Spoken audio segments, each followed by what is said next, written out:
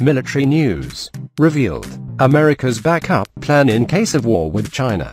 The United States can no longer count on its specific air bases to be safe from missile attack during a war with China. On the contrary, a 2015 paper from the influential RAND Corporation noted that in the worst-case scenario, larger inaccurate attacks sustained over time against a less hardened posture could be devastating, causing large losses of aircraft and prolonged airfield closures. Kadena Air Base in Okinawa, due to its relative proximity, would be hardest hit. To up the stakes, China in September 2015 publicly revealed its DF-26 ballistic missile, which can strike Andersen Air Force Base in Guam nearly 3,000 miles away from the Chinese mainland. Andersen and Kadena are among the U.S. military's largest and most important overseas bases. Enter Tinian, the lush, small island near Guam is emerging as one of the Air Force's backup landing bases. On February 10, the Flying Branch announced that it selected Tinian as a divert airfield in the event access to Andersen Air Force Base, Guam or other Western Pacific locations is limited or denied.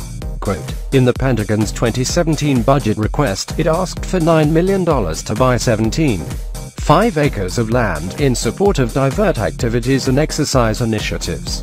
The Saipan Tribune reported, in peacetime, the expanded Tinian airfield will host up to 12 tanker aircraft and associated support personnel. For divert operations, according to the Air Force, Tinian is now a sleepy place. During World War II, the 4th and 2nd Marine Divisions captured the island, which later based the B-29 super fortresses Enola Gay and Bockscar which took off from Tinian's Northfield and dropped the atomic bombs on Hiroshima and Nagasaki.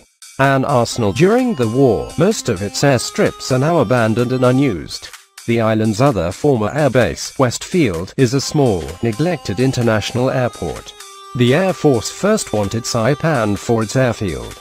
Very close to Tinian, Saipan has 15 times the population, a larger airport and a harbor.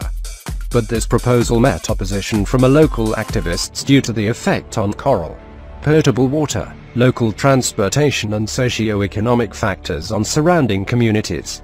Quote, Stars and Stripes reported, the opposition even included the pro-business Saipan Chamber of Commerce, which worried that Tinian's rusty airport would miss out on the flood of Pentagon spending. Saipan's airport is also overcrowded, with locals not happy about the prospect of hundreds of airmen flying in for military exercises lasting up to eight weeks every year. In a way, it's a return to the past. The United States dispersed air bases to varying degrees and in different parts of the world during the Cold War, but as the threat of a Soviet missile attack evaporated and post-Persian Gulf War budget cuts hit, Hard in the 1990s, the trend shifted toward larger megabases that operate on economies of scale. But dispersed bases are more survivable, Rand's Alan Vick noted in his 2015 paper. Dispersing aircraft across many bases creates redundancy in operating surfaces and facilities. This enhances basic safety of flight by providing bases for weather or in-flight emergency diverts.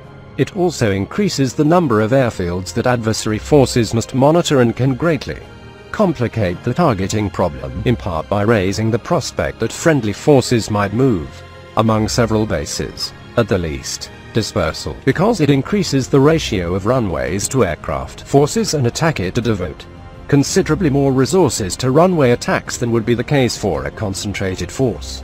It also greatly increases construction and operating costs to spread aircraft across many major bases. To mitigate these costs, dispersal bases tend to have more modest facilities and, at times, might be nothing more than airstrips. Robert Beckhusen is the managing editor of War is Boring.